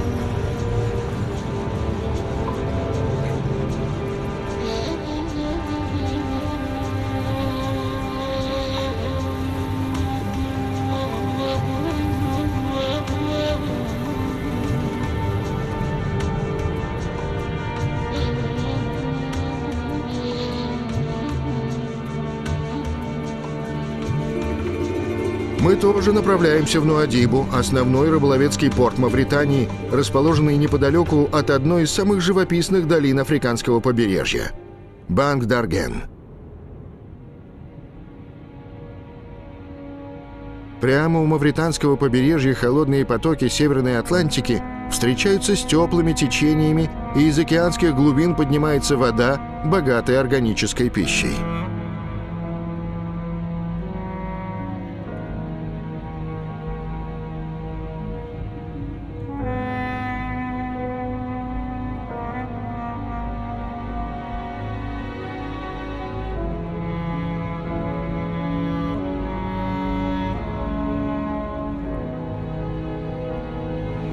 В прибрежных водах Мавритании много рыбы, поэтому здесь столько рыболовецких судов. Мне хотелось коснуться вопроса о чрезмерном рыбном промысле и заснять, как судно забрасывают сеть. Но осуществить это желание было очень трудно. Два года мы пытались добиться разрешения на такую съемку, но ни один из судовладельцев даже в Европе не хотел взять нас на борт. Нам разрешили это здесь, в последний день съемок. Все как всегда. Если есть какая-то проблема, то запрещают снимать. И вот почему. Взгляните на размеры этих траулерных сетей и неводов. Под таким грузом рыба превращается в месиво. 96% рыбаков всего мира ловят самым примитивным способом, но предъявляют лишь 30% улова. Сенегал. Они страдают от жестокой конкуренции из-за того, что запасы рыбы радикально уменьшились. В Каяре, неподалеку от Дакара, рыбаки прямо на берегу делят улов на несколько частей. Что-то идет на продажу, что-то отдают старикам. Это своего рода пенсия, которую назначает рыбацкая община. С традиционным рыболовным промыслом связана целая социальная организация, и молодым рыбакам вступить в нее непросто. Своя организация есть и на свалке мусора на окраинах Дакара. Свалка растянулась на несколько километров, и каждый день сюда свозят тысячу тонн мусора. Свалка становится городом. 1200 человек нашли здесь себе пристанище. Они перебирают мусор в ядовитой и удушливой атмосфере, ведь это приносит доход. Случается, что они зарабатывают больше, чем государственные чиновники в Дакаре. Они учредили общину, платят за медицинское обслуживание, но люди из всех других социальных групп смотрят на них свысока.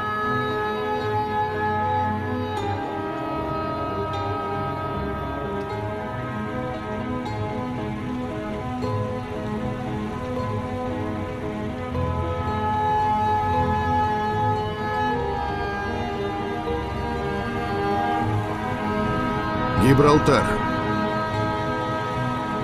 Гибралтарский пролив. Пролетаем над ним в вертолете.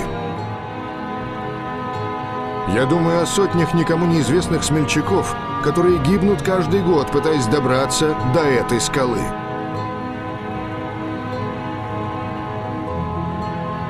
Для тех, кто живет в Африке, Гибралтар – это символ новой жизни – можно ли запретить мечты о лучшей жизни? Ведь это то, к чему люди стремятся испокон веков.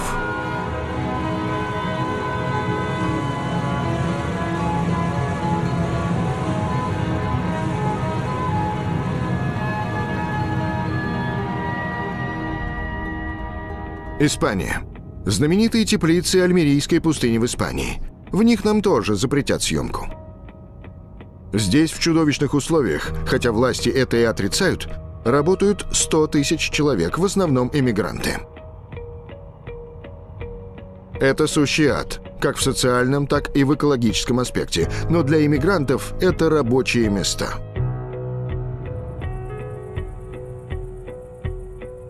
Пролетая над Андалузией, я поразился, сколько тут оливковых деревьев – Снимая эти холмы, уходящие за горизонт, я понял, почему Испания – ведущий производитель оливкового масла на нашей планете.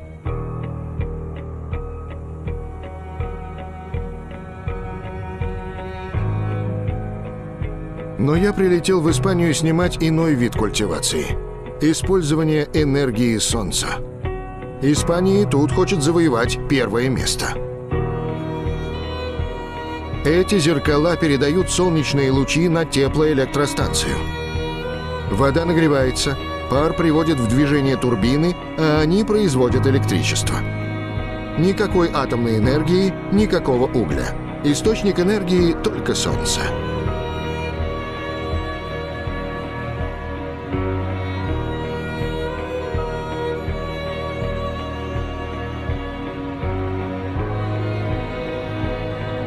А здесь применяют иной способ использования солнечных лучей. Эти фотоэлементы обеспечивают электричеством 20 тысяч домов. Когда мы тут снимали, это была крупнейшая в мире электростанция такого рода.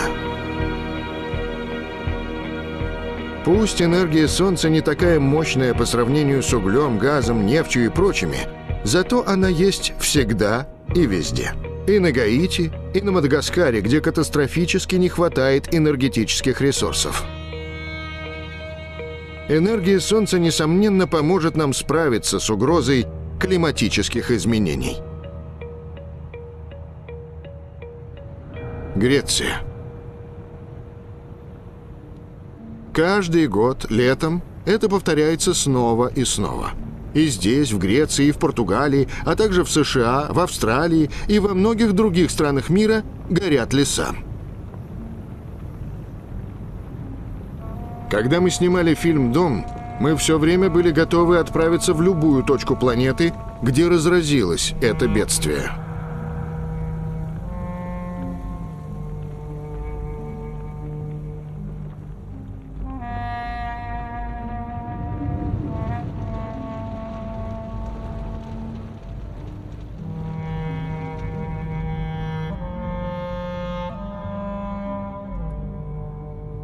В августе оно постигло Грецию, когда деревья уже обрядились в свой волшебный осенний наряд. Особенно поражает следующий факт. Те участки лесного массива, за которыми ухаживают, огонь обходит стороной. Отдаленными и труднодоступными территориями люди обычно пренебрегают. Поэтому безжалостный огонь действуют там безнаказанно. Именно в этих местах мы вновь должны обрести свое место. И мы обязаны их защищать. Кроме того, я убежден, что наше сельское хозяйство должно приобретать все более местный характер, ближе к городам. Поэтому эти территории нам еще пригодятся. Нидерланды. В Нидерландах 60% населения живет на земле, отвоеванной у моря. Участки такой земли называют польдерами. Вот уже семь веков голландцы осушают, копают, строят плотины. И земли, пригодной для сельского хозяйства, становится все больше. Ветряные мельницы дают энергию, необходимую для того, чтобы отводить воду в каналы. Эти польдеры под угрозой – из-за изменений климата море может их вновь поглотить.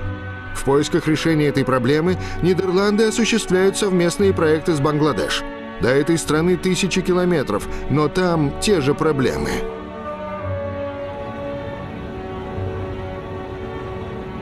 Скоро мы увидим большие цветные полосы, которые будем снимать. 15 дней в году, когда тюльпаны начинают цвести, это самое яркое место на планете. Собирать будут одни только луковицы. Селекционные виды тюльпанов выращивают тут уже 4 столетия. С тех самых пор, как их впервые завезли из Атаманской империи. Но все эти красоты требуют огромного количества пестицидов.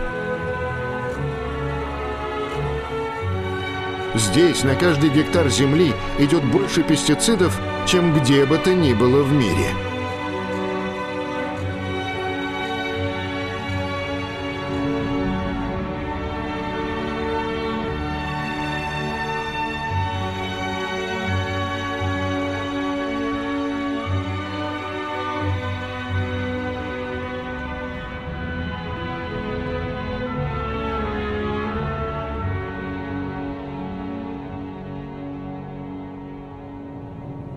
Франция. Эти необъятные желтые пространства – рапсовые поля. Я часто пролетаю над Францией и вижу, их площадь стала больше. В три раза за последние пять лет. Почему? Ради биологического топлива. Из масла рапсовых семян получают так называемую «зеленую нефть».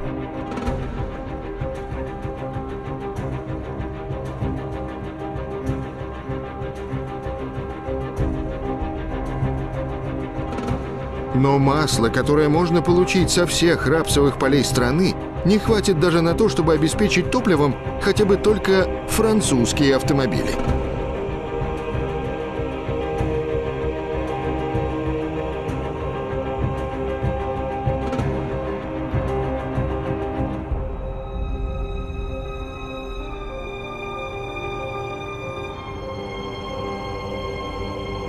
Меня упрекают, что в фильме «Дом» я не коснулся проблемы атомной энергии. Но как раз по этой теме у меня много материала. Во Франции на заводах комплекса Гаага перерабатывают не только наши ядерные отходы, но и те, что привозят из Англии, Германии, Японии и Австралии. Здесь хранят самые опасные отходы и производят материалы, которые будут радиоактивными еще сотни тысяч лет. И площадь комплекса Гаага все время увеличивается. Я не собирался устраивать прения по этому поводу. Мне не хочется выслушивать то же самое, что говорят уже 40 лет, как противники атомной энергии, так и ее апологеты, уверяющие, что никакой опасности нет. Украина. Это очевидная ложь. Фактор нулевого риска не существует. Я снимал Чернобыль, город призраков, где взорвался один из атомных реакторов.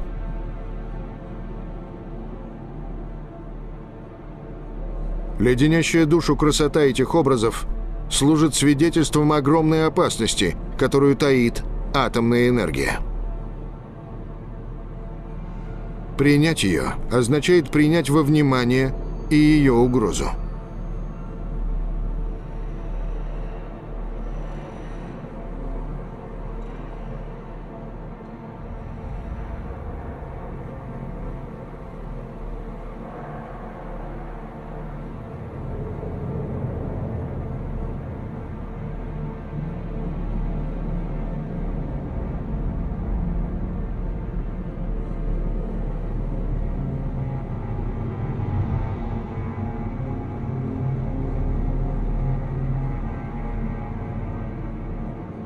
Долгое время я был ее противником, как большинство борцов за экологию. Но это было до того, как я осознал опасность изменений климата. Поэтому сейчас я не знаю, что вам ответить. Эти вопросы нуждаются в широком обсуждении. Полагаю, мы уже достаточно зрелые, чтобы вместе решить, какие источники энергии подходят нам лучше всего. Во всяком случае, урана на нашей Земле стало меньше. Австралия. Мне, фотографу, разработки урановых месторождений с высоты кажутся фантастически красивыми. Желтый цвет урана смешивается с цветами других металлов, которые содержатся в руде. Такое ощущение, словно передо мной сильно увеличенные детали картины художника-импрессиониста.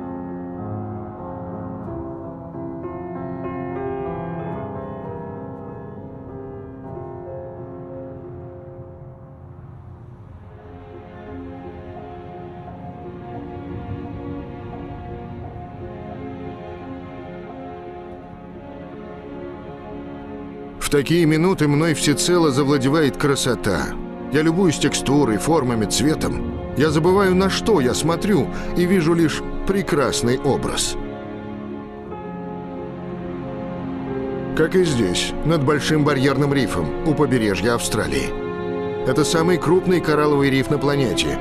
Его охраняют как ценный природный объект –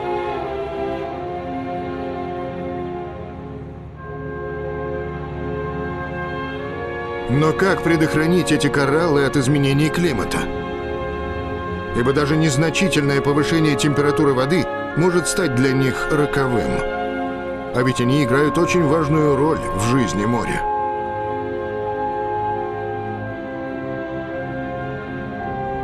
Новая Зеландия. Лично мне эта страна кажется очень современной. Нам всем захотелось тут жить. 30% ее территории занимают парки и заповедники. И в то же время уровень жизни здесь один из самых высоких на планете.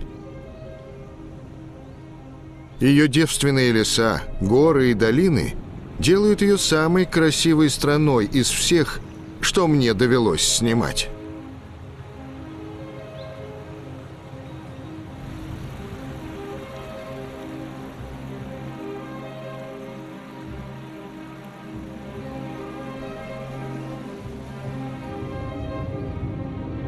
Я хотел заснять на пленку цвета этой осенней красоты.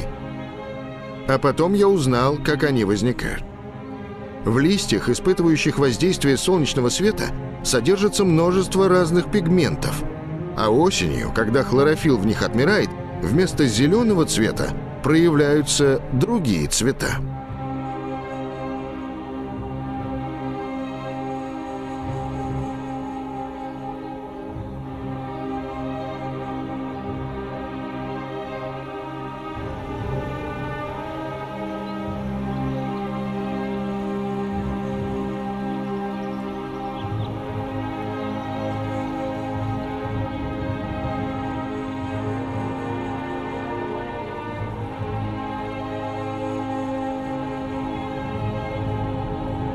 Только посмотрите. Это не облака. Это ледниковая пена. Мы так называем испарение от плавящегося ледника.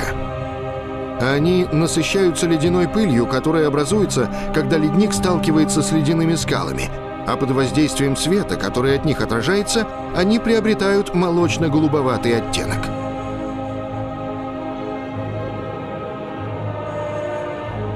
Новая Зеландия вырабатывает большую часть электричества благодаря этим дамбам.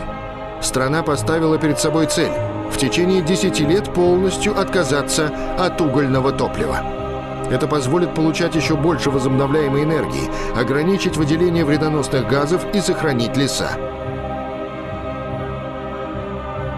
Я полагаю, это одна из тех стран, которые могут указать нам верный путь. За ней будущее. Вот почему я хотел тут снимать. Дубай. В Дубае мной владели совсем иные чувства. Здесь поднимают с морского дна миллионы тонн песка и возводят искусственные архипелаги в форме карты мира.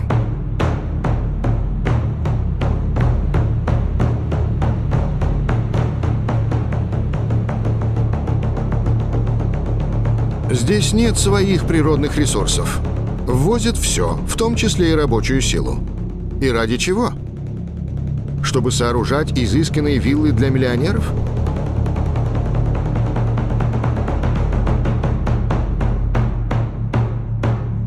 Снимать в Дубае было очень трудно. Лично мне получить разрешение так и не удалось.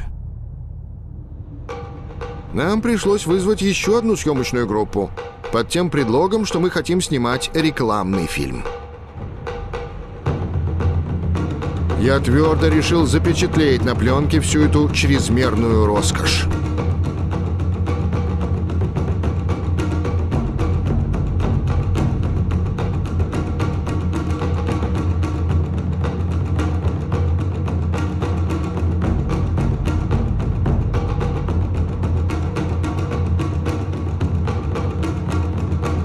Зачем так изощряться и строить самые высокие башни в мире?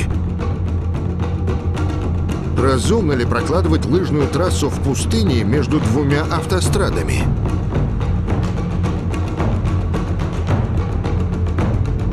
Дубай явно стремится к тому, чтобы стать городом будущего. Но мне кажется, что он уже отошел в прошлое.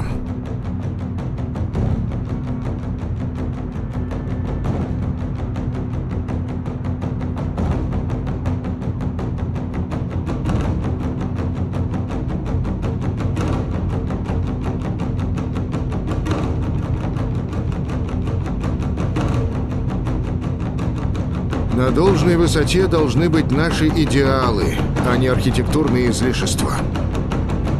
Можно ли в этом кого-нибудь убедить?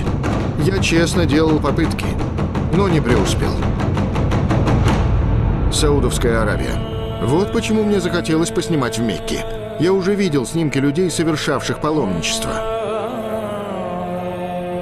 Я никогда еще не замечал в лицах такого искреннего пыла. Сам я пойти туда не мог, ведь только мусульмане могли пройти за священную ограду. Поэтому мы послали туда оператора-мусульманина, который отснял замечательный материал.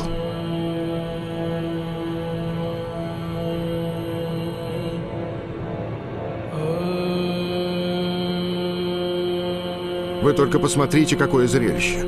Как единодушно движется эта живая толпа. Многие всю жизнь откладывали деньги, чтобы приехать сюда и здесь помолиться.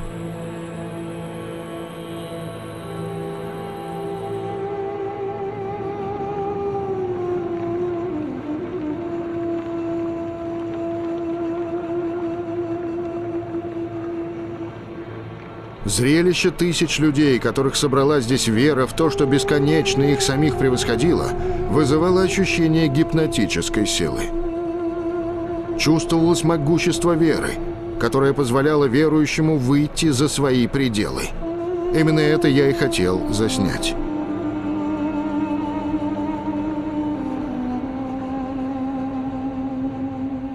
Франция.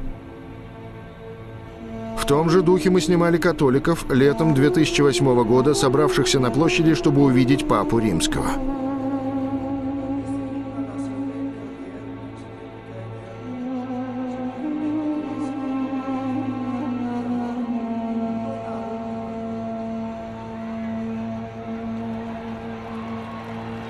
Мне тогда захотелось сказать, почему бы нам не найти в себе веру, которая даст нам сплотиться и сохранить наше общее, жизненно важное благо – воду, леса, океаны, климат. Мне так хотелось поделиться с другими своим утопическим проектом, но ничего не вышло.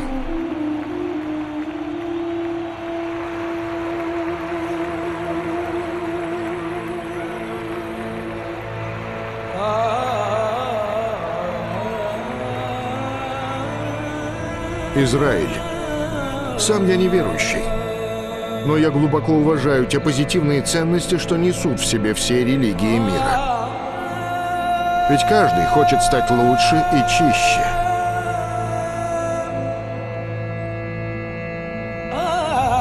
Когда я пролетал над Иерусалимом и видел церкви, мечети и синагоги, тесно связанных друг с другом трех религий, мне покоя не давала мысль о том, что город, который должен был стать символом мира, стал фактически источником распри.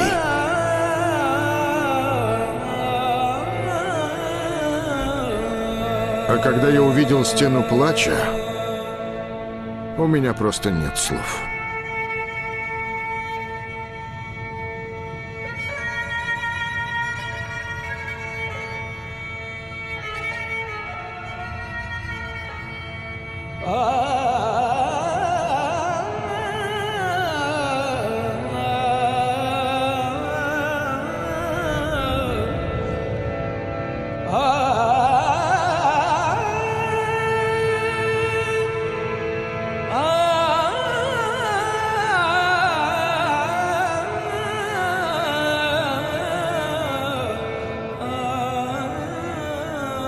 Иордания. Совсем рядом, на берегу Мертвого моря, лежит Иордания. Мы пролетаем над величественной пустыней Вадирам, и перед нами Петра, сокровище культуры. Оно сохранилось в отвесных скалах каньона.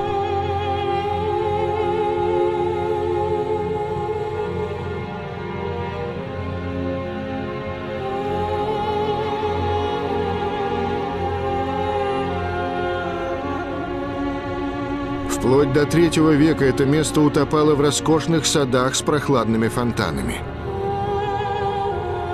Сложная система водосбора и ирригации заставляла караванщиков устраивать привал. Все тут было вырублено в скалах. Когда-то здесь обитало множество людей. Ныне остались лишь одни руины. Что сгубило этот город? Климат, экономический кризис, эпидемия. Могли ли те, кто его строил, вообразить себе, что некогда он придет в упадок и погибнет? Нет. Когда они его строили, они думали, что это на века.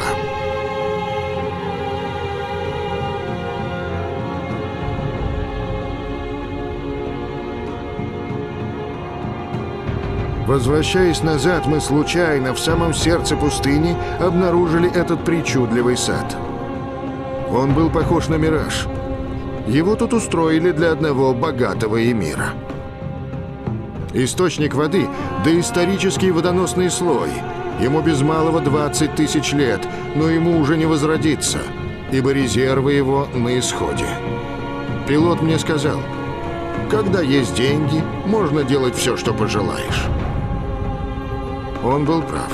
Этот сад поистине все, что пожелаешь.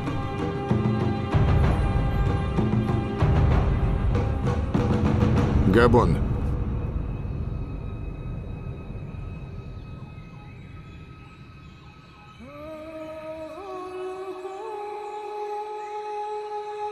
Когда я впервые оказался в Габоне, меня переполняли чувства. Передо мной раскинулся экологический рай. Тут было все, что я хотел уберечь. Но жить в этих лесах я бы не смог.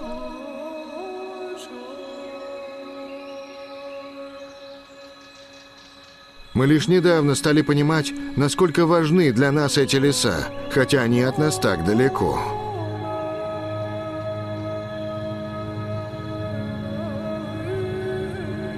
Ведь они помогают поддерживать всеобщее равновесие, где у всего есть свое место, и от которого мы всецело зависим. Больше невозможно в одном месте сберегать, а в другом расхищать. Ибо все взаимосвязано.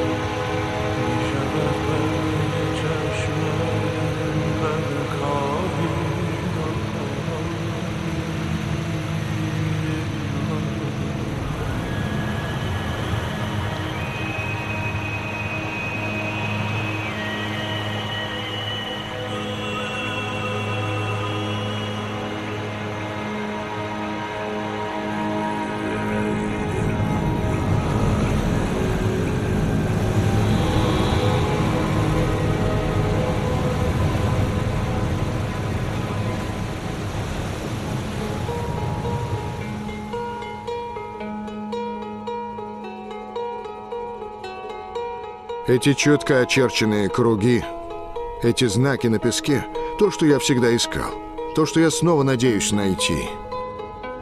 Это круглые отверстия — гнезда рыбы тилапии. Их сделали самцы, чтобы привлечь сюда самок. Когда самке гнездо по вкусу, она в нем отложит яйца.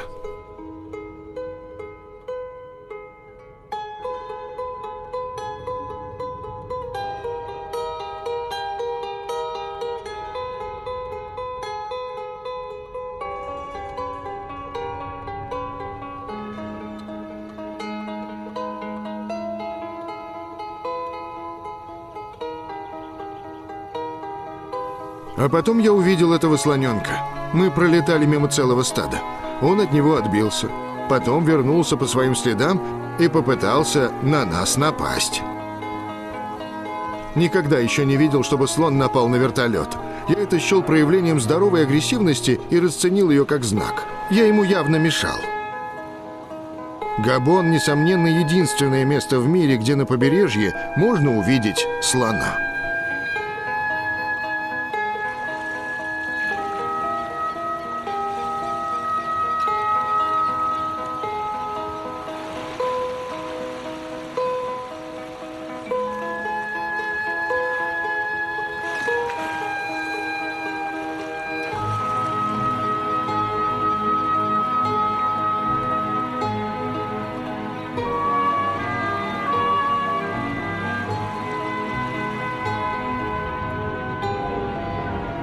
Среди выступавших из моря газовых факелов, в которых сгорали отходы нефти, мы неожиданно заметили китов.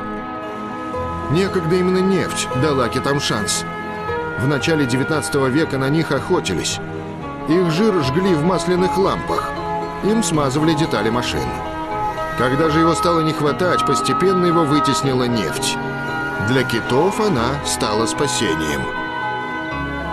Парадокс или иллюзия? Ибо охоту начали снова. Итак, мы вместе завершили наше путешествие. Да, действительно, защитниками экологии не рождаются, ими становятся. Работа над проектом «Земля ведь сверху» меня преобразила. Да, преобразила, ибо Земля наша еще прекраснее, чем я себе воображал. Да, преобразила, ибо я видел и засвидетельствовал наше воздействие на природу. Сенегал, пляж в Дакаре. Когда я родился лет 60 тому назад, нас на Земле было 2 миллиарда а сейчас около семи. И многие, как эта молодежь на пляже в Дакаре, мечтают жить, как мы. Меня преобразили встречи с учеными на полях экологических битв. Ведь они нам давно посылали сигналы тревоги, а мы не прислушивались.